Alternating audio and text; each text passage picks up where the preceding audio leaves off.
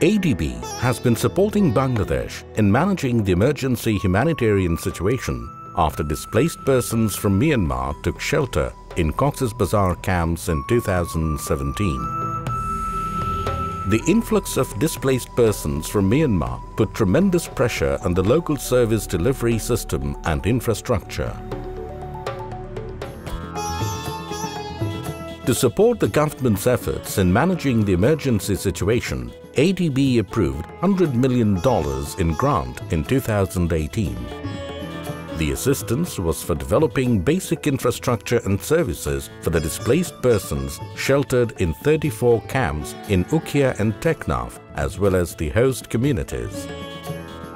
The assistance improved water and sanitation, disaster risk mitigation, energy supply and road access to and within the camps. 10 school-cum cyclone shelters and 11 kilometers storm water drainage networks. Four food distribution centers were constructed and put to service. 400 lightning arresters were installed to save people from lightning.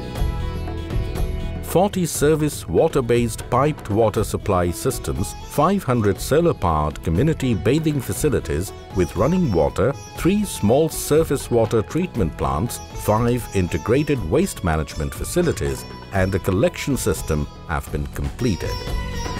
Seven mobile water carriers of 3000 litre capacity each have been put in service. Under the energy component, 2000 standalone solar streetlights, 2000 mini-grid powered streetlights and 100 solar nanogrid for household lighting have been installed. A 33 by 11 kV power substation and 50 kilometers power distribution lines were constructed too. A 50 kilometers road from Ukhia to Teknaf has been completed under the road component. I'm very pleased to see that 90% uh, of our uh, project has been completed, uh, including a number of innovative elements, as well as to continue with water supply and management. And also we will develop another road to help the communities and as well as the, the camp in, in Teknaf. The project is promoting innovation, including creating sources for surface water. A unique innovation introduced under the project is an energy-neutral new technology called Omniprocessor, which will manage solid waste to create fertilizer, power and drinkable water. We are continuing our support.